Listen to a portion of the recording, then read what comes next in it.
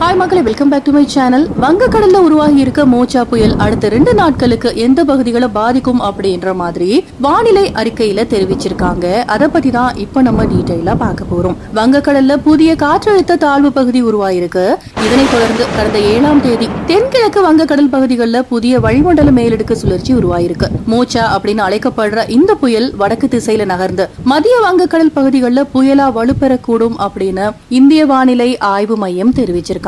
இந்த மோஜா புயல் மத்திய வங்கக்கடல உருவாகி இருக்கிறதுனால மேற்கண்ட அனைத்து விஷயங்களும் புயல் உருவாவது உறுதியாகிருக்குன்னு சொல்லியிருக்காங்க. மேலும் இந்த புயல் தமிழகத்தை பெரிதா பாதிக்காது அப்படிங்கிற மாதிரி சொல்லியிருக்காங்க. ஓரிரு இடங்கள்ல மட்டும் அடுத்த நாற்பத்தெட்டு மணி நேரத்துக்கு கனமழை பெய்யும் அப்படின்னு வானிலை ஆய்வு மையம் தெரிவிச்சிருக்காங்க. தற்போதுள்ள தாழ்வான காற்றழுத்தம் உண்டாகி இருக்கும் நிலையில இதன் பயணத்தை கணிக்க முடியாது அப்படின்னா கூட ஒடிசால பெரும்பாலும் தாக்கும் அப்படின்னு எதிர்பார்க்கப்படுது. ஒடிசா அல்லது ஆந்திர பிரதேசம் இடையே எங்காவது ஓரிரு இடத்துல கரையை கடக்கும் வாய்ப்புகளும் இருக்காம். பெரும்பாலும் வடக்கு ஆந்திர பகுதி அதிகமாக இருக்கலாம் அப்படிங்கிற மாதிரியும் பாதிக்கப்படலாம்.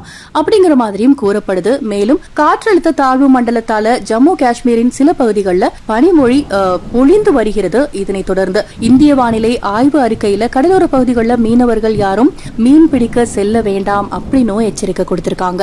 இந்த ஒரு தகவலை பத்தி நீங்க என்ன நினைக்கிறீங்க அப்படின்னு உங்களோட கருத்துக்களை மறக்க மறக்காம கமெண்ட் செக்ஷன்ல ஷேர் பண்ணுங்க. அது மட்டும் இல்லாம உங்க ஊர்ல எந்த அளவுக்கு மழை பெய்யுது எந்த மாதிரி கிளைமேட் இருக்கு அப்படிங்கறதையும் சொல்லுங்க. இந்த வீடியோ பிடிச்சிருந்தா லைக் பண்ணுங்க. இந்த மாதிரி அப்டேட்ஸ்க்கு நம்ம சேனலையும் சப்ஸ்கிரைப் பண்ணிக்கோங்க. தேங்க்யூ